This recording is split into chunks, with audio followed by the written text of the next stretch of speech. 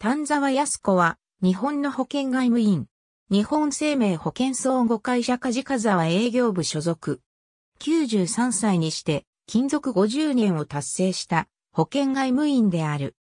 日本国内においては、史上最高齢級の保険外務員として知られており、新聞や雑誌などマスコミに取り上げられることも多い。現在も現役の保険外務員として日本生命保険に勤務している。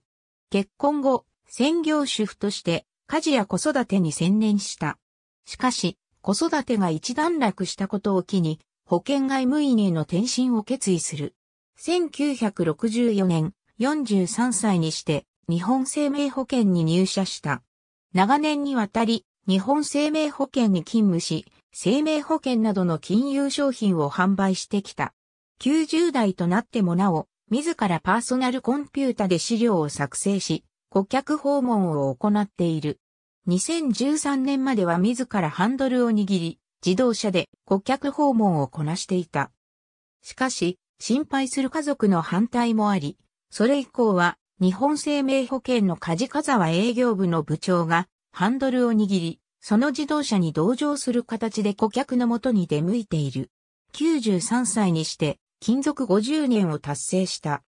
日本生命保険では年に一度自社の保険外務員を対象に成績優秀者表彰を行っているが、この表彰を50年間のうち43回授与されている。30年連続表彰を達成した際には、日本生命保険から銀バッジが贈られている。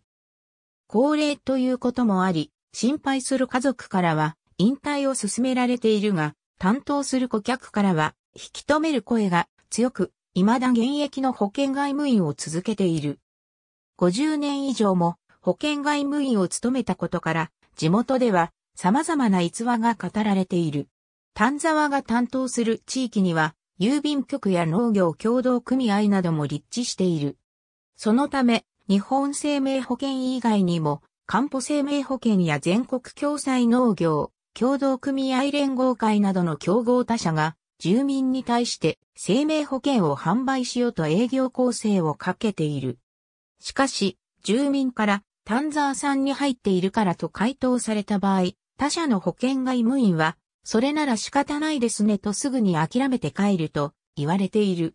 また、担当する顧客世帯の状況や契約内容を詳細に把握していることから、担当する顧客の契約手続きなども迅速かつ円滑に進めている。そのため、更新時期の通知書が日本生命保険の本社から梶川営業部に届いた時点で、すでに更新手続き自体が完了していることも日常茶飯事だという。住民の中には4代にわたって丹沢の顧客になった者もいる。